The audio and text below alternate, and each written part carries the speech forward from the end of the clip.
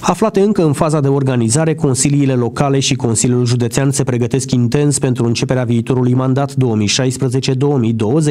După instalarea pe fotoliile de primare, edilii șefi au însă nevoie de fonduri pentru realizarea proiectelor. Aceste fonduri vin pe trei surse, fonduri europene, fonduri de la bugetul județului și fonduri locale, din taxe și impozite locale. Problema alocării de finanțări pe criterii politice în funcție de culoarea guvernului și al Consiliului Județean nu este nouă în România, ea s-a perpetuat în ultimul sfert de secol, când primăriile au primit fonduri de la București sau județ în funcție de coloratura politică a guvernului. Pierderea de către PSD a marilor orașe Piatra Neamț și Roman și câștigarea de către liberali a primăriilor din alte 22 de localități rurale a determinat acreditarea în analizele jurnaliștilor a faptului că primăriile galbene vor avea dificultăți în derularea proiectelor în condițiile în care pe fotolul de președinte al Consiliului Județean se va instala deputatul social-democrat Ionel Arsene, care va avea și o majoritate în Consiliul Județean împreună cu ALDE. De altfel, și declarația liderului de grup PSD din actualul legislativ județean, consilierul Dan Constantin, a venit să confirme zvonurile din presă. La ședința de adio a Consiliului Județean, acesta a făcut o declarație cel puțin neinspirată, susținând că în viitorul Consiliul Județean nu va vota alocarea niciunei sume pentru primăria Piatra Neamț, unde a câștigat liberalul Dragoș Chitic. Este regretabil că o hotărâre adoptată de Consiliul Județean, însușită de Consiliul Local al Municipiului Piatra Neamț, pentru că toate aceste lucruri s-au făcut la inițiativa și a Consiliului Local Piatra Neamț. Uh, această, această construcție de celor trei unități rezidențiale ar trebui să fie gata în uh, luna noiembrie acestui an. Atâta timp cât uh, municipiul Piatra Neamț nu-și respectă înțelegerea și hotărârea de a pune la dispoziția constructorului cele trei amplasamente, cele trei terenuri, este pusă pericol, este pusă în pericol realizarea acestui uh, proiect.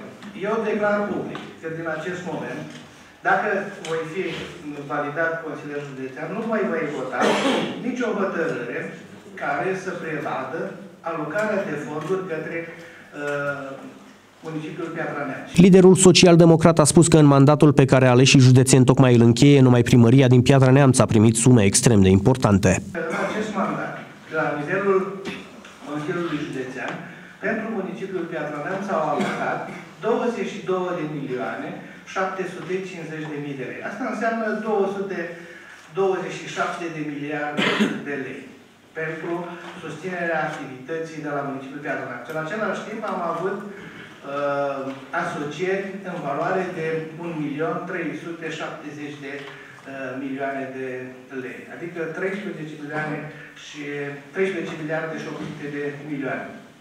Dacă de la nivelul județului a existat înțelegere, dacă noi consilierii județeni am aprobat de fiecare dată solicitările municipiului Piatra Neamț, pentru mine este de neînțeles această atitudine a celor de la municipiul Piatra Neamț și fac un apel public pentru derularea acestui proiect. Întrebat ce se va întâmpla dacă nu va primi fonduri de la Consiliul Județean pentru a-și susține proiectele pentru Roman, primarul Laurențiu Leureanu, ales de Romașcani cu un scor covârșitor de 17.579 de voturi, respectiv 76,94% față de 3.523 de voturi, adică 15,48% ale principalului său contracandidat social-democratul Gheorghe Oprea, edilul șef al Romanului a spus că o asemenea decizie a liderului social-democrat care se va instala în funcția de președinte al Consiliului Județean ar fi o mare eroare politică și un abuz în funcție. Dacă a făcut o astfel de declarație, deși eu nu cred, permiteți-mi să am rezerve pentru un om politic care dorește să fie prezent în viața administrativă la nivel județean și național, mi se pare o declarație, ca să fiu elegant, hazardată, ca să nu spun irresponsabilă. Consider că noi suntem aici veniți să lucrăm în interesul comunităților și a cetățenilor nu suntem veniți să plătim poliție.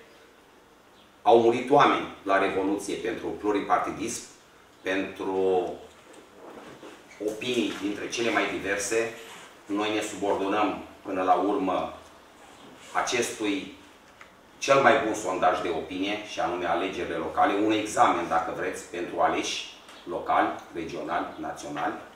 Și eu cred că fiecare dintre noi trebuie să ne implicăm pentru comunități și pentru oamenii din comunitățile pe care le păstorim.